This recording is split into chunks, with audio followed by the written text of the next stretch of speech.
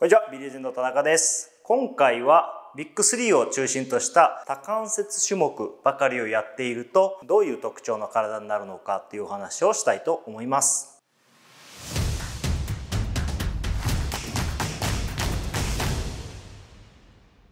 動画の概要欄には公式 LINE やお得なセール情報も掲載されておりますので、ぜひご確認ください。これまで何個か解説動画を撮ってきたんですが、トレーニングのね、初心者の方とかには、まずこう多関節種目ですね。まあ、多くの関節や筋肉が使われる、まあ、ビッグ3ですね。スクワット、ベンチプレス、デッドリフト、また懸垂とかですね、ラットプルダウンとか、まあ、ローイングとかですね、多くの筋肉が使われる多関節種目をまずやった方がいいですよっていうお話をしてきたと思います。でその中で重量を伸ばしてベースとなる筋肉量を増やすっていうところのアプローチをまず優先的にやってくださいねとその方が効率的ですよっていうお話をしてきたと思います、まあ、今でもその考え方には変わりはないのでそのようにアプローチをしていただいたらいいのですが、まあ、私のようにですね、まあ、パワーリフティングの試合に出てて多関節種目にかなり偏ったトレーニングをしていた場合に、まあ、どういう体つきの特徴になっていくのかっていうところも知識としてね知っておいたらいいと思うのでその辺のお話をしてみたいと思います。まあ私最近ちょっとね弱点改善するために、まあ、今までとはねちょっと違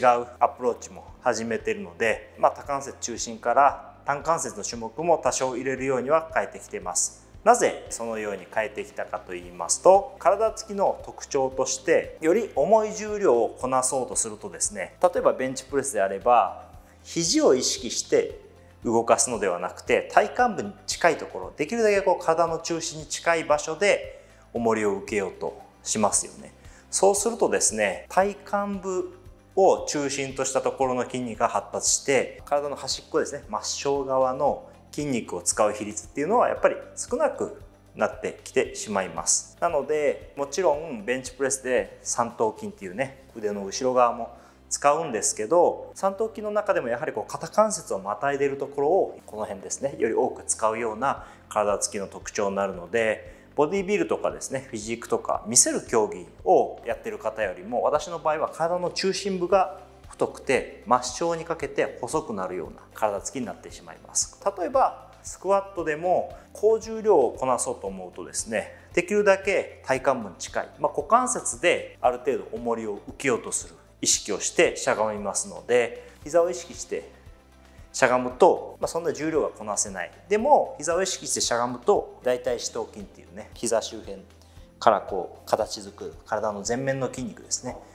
まあこの辺が発達するんですけどボディメイクの方はですねあえて膝を起点にしてスクワットをしたりで単関節種目でレッグエクステンションなどをやって、まあ、しっかり四頭筋が発達するようにトレーニングしてるんですが私の場合はまあスクワットが中心なのでより体幹部に近いところで重りを受けようとしてしゃがむので、まあ、四頭筋も多少は発達するんですが内転筋ですねこの股関節に近い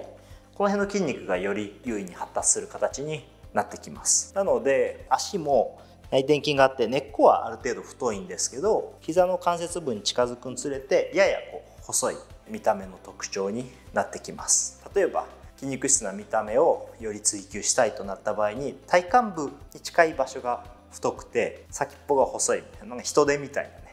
あの先がこうピンと細いようなシルエットになってくるので例えばまボディビルのねダブルバイセプスとかこういうポーズを取った時にですね体幹部の太さ強さに対して末梢ですね腕とか、まあ、膝に近い位置の足とかが細くなるっていう特徴があります。まあ、ボディビル的なね腕の先とか、まあ、足のこの先の近い位置がですねよりこう丸みがあって立体感のあるボディラインを目指したい場合はベースがある程度できた段階になったらそこからより重量を伸ばすアプローチももちろんやった方がいいとは思うんですけどある程度末梢の方に発達の比率を置いた単関節種目であったりとか重量をこなすことをメインにする意識のスクワットとかベンチプレスではない組み方もやった方がいいのかなと思います。これはあの私がベンチプレスの大会で出会った選手の方の思い出なんですが、まあ、外国の方だったんですけどすっ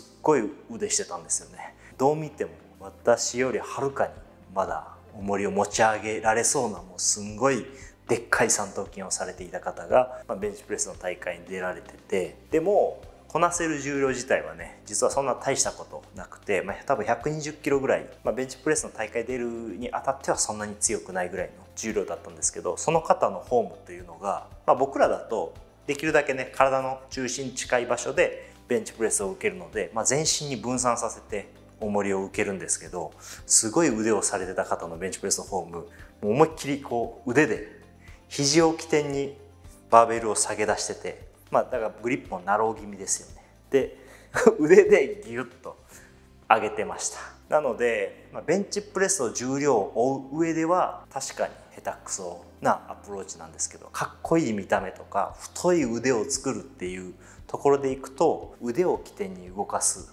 フォームなので、ま、120キロの重量を三頭筋をメインに重量を受けてるので確かにかっこいい腕になるなっていうところは感じました。なので重量をこなして、まあ、そうしながら回数を伸ばしていくっていうアプローチは初心者の頃に筋肉量を増やしてベースを作るっていうところで言うとかなり大事になるのですが末梢の方もしっかりこう筋肉が丸みがあって中心部ばっかり太いっていう状態じゃないバランスの良い状態を作るのであれば体の中心部から動かすんじゃなくて端っこから動かすっていう多関節のフォームもアプローチしてみても良いかなと思います、まあ、もちろん関節にね負担はねどうしても末梢から動かすとねかかってはくるんですがそういう時はね単関節種目で鍛えるっていうのも組み入れるとボディービルダーとかフィジーカーみたいな端っこも大きいですね。体になっていくのかなと思いますので多関節もやってベースを作ったらね単関節で見た目をバランスよく補強していくっていうアプローチも、まあ、トレーニング1年2年ぐらいやったらそういうアプローチも考えてみてもいいのかなと思います、まあ、あとはちょっとこれは補足の説明になるんですが私あの海外のジムにちょっと行った時に面白かったのがわりかし日本人の人って多関節種目をまずしっかりやり込むっていう考え方が、まあ、根底にあると思います。あのそういう人の方が多いような印象ですが海外のジムった時に腕から始める人結構多くて、まあ、男性らしさのアピールで腕を鍛えるっていうのがあるかもしれないですけどまずこうプリーチャーカールからなんかやりだすような人結構多くてですごい僕よりはるかに太い腕をしててわかっこいい体してるなと思ったんですけどベンチとかラットは全然大したことないというか、まあ、僕らの半分ぐらいの重量でやっててやっぱりこうトレーニングの考え方、まあ、かっこいい腕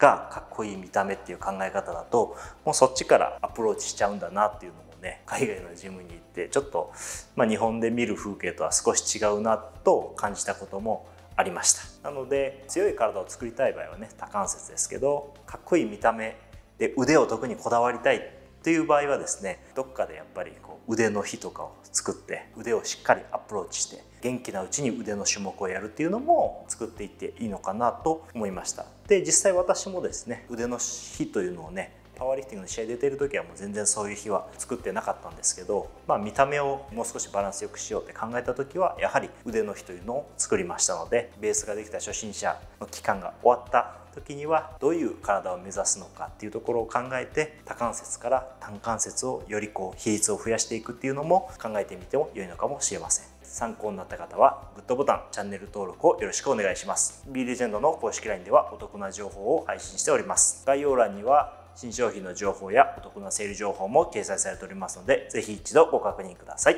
それではまたお会いしましょう。さようなら。